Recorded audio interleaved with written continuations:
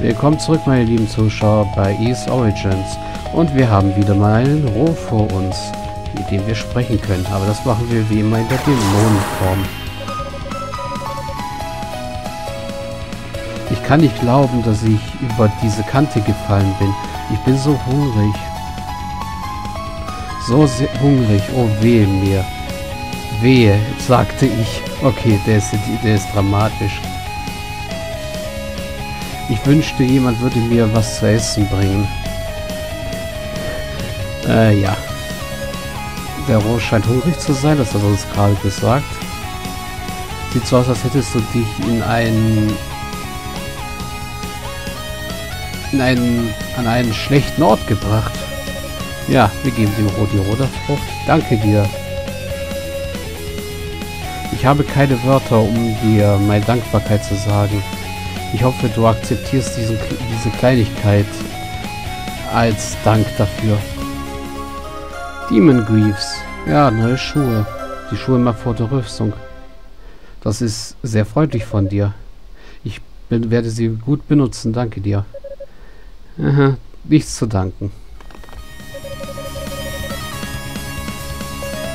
Ich bin... Man könnte mich als Gourmet unter uns Ros bezeichnen. Aber selbst für mich gibt es nichts Besseres als eine Roderfrucht. Sie sind so süß und saftig. Wenn die anderen Dämonen nur diese Freude können, kennen würden, dann wären sie vielleicht nicht mehr so böse. Ja. Sehr schöne Informationen von dem Rohr. Und wir ziehen die Stiefel gleich an, denn damit können wir besser über Treibsand gehen.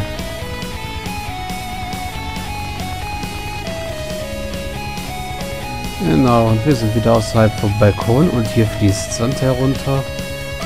Noch ein Anzeichen, dass wir den Silent Sand sind. Und mal wieder eine Zwischensequenz.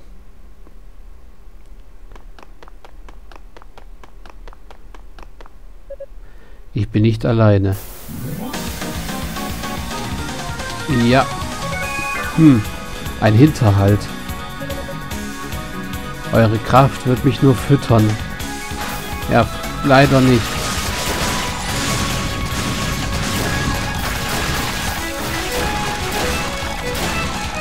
Auch wenn wir sie sehr schnell ausgeschaltet haben. Und sie jetzt auf einmal wo ganz woanders liegen. Was zur Hölle sind diese Dinger? Egal wie viele ich besiege, ich kann nicht ihre Kraft absorbieren. Was? Ja, sie stehen einfach wieder auf. Verdammt. Sieht so aus, als ob Dallas mit den Untoten im Bunde wäre. Und das war das Silberglückchen. Was? Ah, so wie es aussieht, hat das seinen Zweck erfüllt. Hm. Ja, da ist Rea. Mit der schwarzen Perle.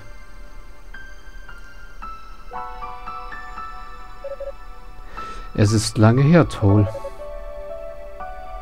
Ich habe dich nicht mehr seit dieser schicksalhaften Nacht gesehen. Es ist lange her. Aber jetzt bist du hier, Rea. Du hast mir sehr viel Zeit erspart, dadurch, dass du hergekommen bist. Ja, ich bin froh, dass ich dir hier helfen konnte. Es gibt etwas, was wir besprechen müssen.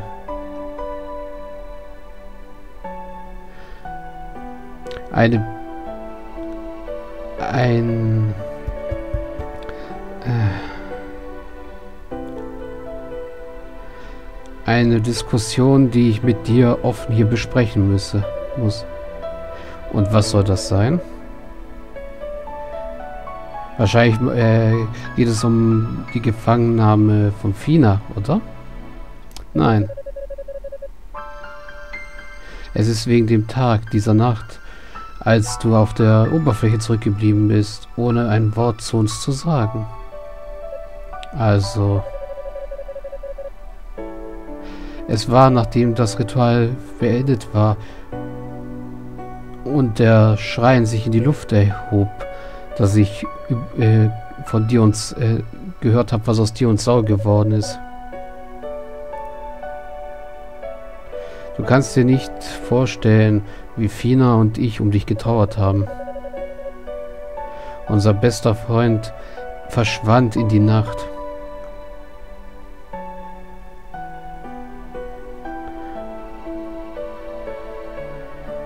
Verloren in diesem verfluchten Land, ohne auf Wiedersehen zu sagen. Wir begannen zu denken, dass unsere Freundschaft, alles was wir zusammen durchgestanden haben, eine Lüge gewesen ist. Nein, das ist nicht wahr. Ich habe es getan, weil ich mich um euch gesorgt habe.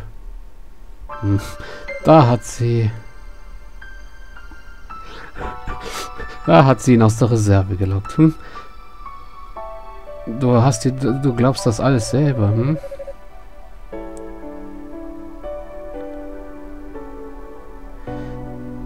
Nee, halt. Ach, sie hat gesagt, ach, du hast mir das abgekauft. Also, ich bin keine Schauspielerin. Also dachte ich, mein Auftreten wäre vielleicht ein bisschen naiv. Oder tollpatschig vielleicht. Hm. Na. Ich war, hab damit angefangen, meine Gedanken über dieses, über diese Tat, über das, was war, zu überdenken. Vielleicht war es eine Lüge. Ich bin immerhin ein Verräter für Is jetzt. Ich habe die dämonische Kraft akzeptiert und sogar deine Schwester entführt.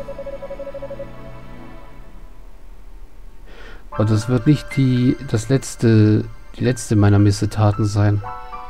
Jetzt, da ich dich und die schwarze Perle in Sicht habe, kann ich dir nicht erlauben zu entkommen. Aber ich gebe dir eine Chance, dich zu ergeben. Wirst du mit mir kommen ohne Widerstand? Nein, werde ich nicht. Ich kann nicht. Ich kann dich nicht so sterben lassen. Ja?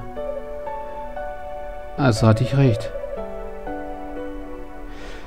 Dein Gesichtsausdruck ist immer einfach zu, äh, zu erkennen, mein lieber Toll. Was für einen Unsinn redest du da? Warum würde ich mich selber töten lassen? Um die dämonische Essenz zu töten, würde ich denken. Äh, zu zerstören, würde ich denken. Aber es wird nicht funktionieren. Die Essenz stammt von der schwarzen Perle. Solange die, die schwarze Perle nicht zerstört wurde, wird die Essenz auch bleiben. Und die schwarze Perle ist ein Schatz, der vor langer Zeit erschaffen wurde, in der Ze im Zeitalter der Götter. Kein Mensch, nicht mal He ein heiliges Wesen, kann sie so einfach zerstören. Was nicht bedeutet, dass es unmöglich ist, natürlich. Deine Methode wäre nicht genug, um es zu erreichen. Nur, nur dadurch, dass du, die, dass du immer mehr Kraft absorbierst und dann mit der dämonischen Essenz komplett verschmilzt, kann niemand, kein Mann, keine Frau, kein Gott hat die Fähigkeit, die schwarze Perle zu zerstören. Hm. Aber das wäre nichts außer ein schneller Selbstmord. Immerhin wären du und die schwarze Perle eins und dasselbe, dann hängt eure Existenz voneinander ab. Und wenn du deine Quelle des Lebens auslöscht, wirst du selber ausgelöscht. Sicher und komplett. Hm. Hör dir dein Gerede doch nur mal an. Denkst du, das hier ist ein Schauspielakt? Jetzt macht er einen auf dicke Hose. Schau mich gut an. Schau an, was ich geworden bin. Der Tolfek, den du kennst, ist an diesem Tag gestorben. Der Mann, nein, der Dämon, der ich nun bin, wird nur von der, Lust, äh, von der Lust nach Macht angetrieben. Mit dem Willen, ganz East zu beherrschen. Die dämonische Essenz hat mir gegeben, was ich brauche, um dieses Ziel zu erreichen. Warum sollte ich mir wünschen? Bitte, Toad, tu das nicht.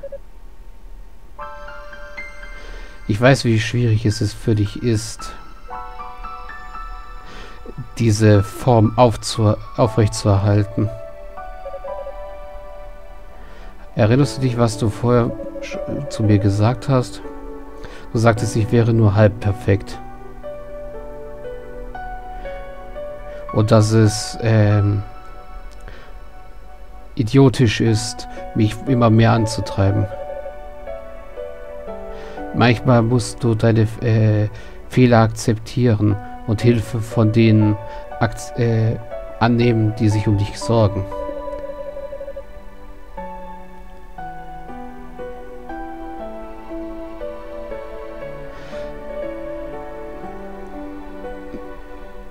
Das ist nichts, was du sagen kannst, wenn du halb perfekt bist, natürlich. Du hast noch nie halbe Sachen getan, wie es scheint. Aber du solltest deinem eigenen Rat folgen. Ich sehe nicht, wie du irgendwelche Hilfe akzeptierst. Ich sehe nur, wie du deine Grenzen überschreitest.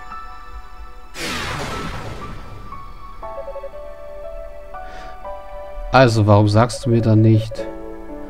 Sagst es mir dann nicht. Warum sagst du mir nicht, wie du die dämonische Essenz eingesperrt halten willst in der schwarzen Perle? Als ich diese Kraft akzeptiert habe, konnte ich die wahre Natur der Essenz äh, sehen. Du könntest sagen, ich habe sie gefühlt. Es war wie eine chaotische, flackernde Flamme, sowohl wunderschön als auch zerstörend im gleichen Maße. Dämonen und Dunkelheit erschaffend. Wenn es so eine einfache, Auf so eine einfache Aufgabe wäre, sie zu kontrollieren, gäbe es keine Zweifel, dass ihr zwei es schon lange getan hättet.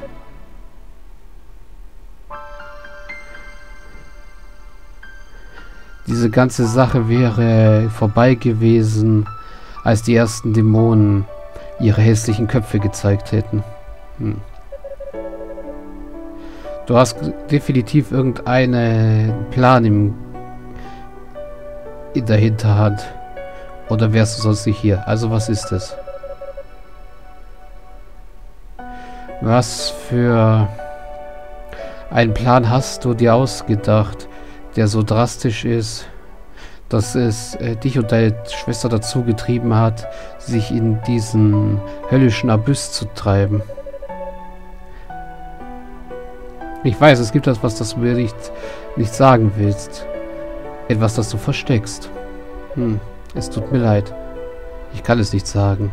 Ich werde es nicht. Nicht zu dir. Oh, da haben wir die Silberglöckchen.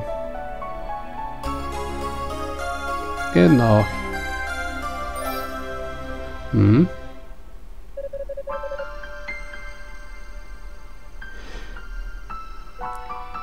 Nimm sie an als ein Dankeschön dafür, dass du mir diese Harmonika gegeben hast. Behalte sie bei dir. Du wirst froh darüber sein. Rea. Wenn wir es schaffen, die dämonische Essenz zu versiegeln, haben wir das Schlimmste der Krise hinter uns. Und du bist frei von diesem Fluch, den du auf dich selbst, den du selbst auf dich genommen hast. Also bitte ich dich, halte dich zurück und überlass alles uns.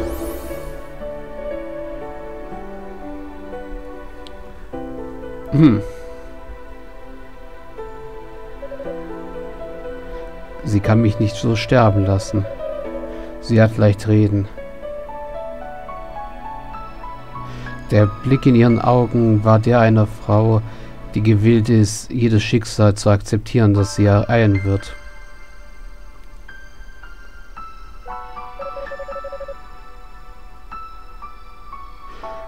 Und in diesem verfluchten Turm ist der Tod wohl das wahrscheinlichste Ende. Vor allem wenn... Warte, natürlich, das muss es sein. Warum ist mir das nicht früher eingefallen? Warum ist es mir nicht früher in den Sinn gekommen? Ich muss äh, mit Fina, Fina reden. Vielleicht kann ich sie dazu bringen, mir zu bestätigen, wie sie die dämonische Essenz versiegeln wollen. Und warum sie auf die Oberfläche gekommen sind, um das zu tun. Der Rados Annex ist nicht weit von hier entfernt. Ich hoffe, ich kann mit ihr alleine sprechen.